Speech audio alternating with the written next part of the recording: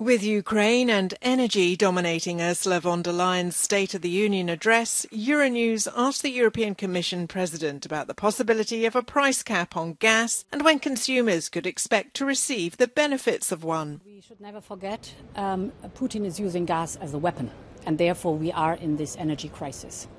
We've done already a lot as a European Union, um, and this has cushioned a lot of the effects. For example, the joint storage, we are at 84% now. This is very good.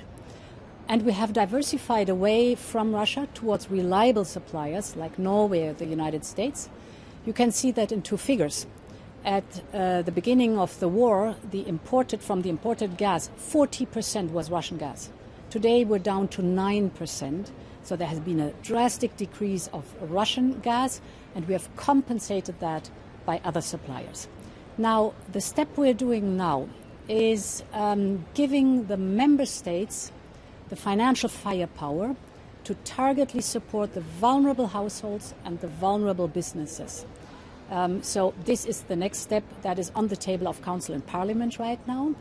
And we are discussing indeed uh, the work on price caps insofar as uh, that we look at what can we do to lower the gas price. Mm. With Russia, completely unreliable supply, the things are clear.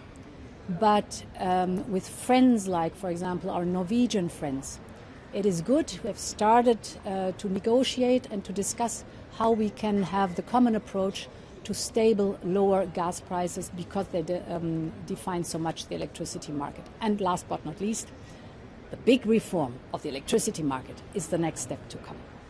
We have the experience of an enormous European solidarity. What we see is, for example, that all member states agreed to have a common storage. Um, we wanted to be in October at 80% storage filled.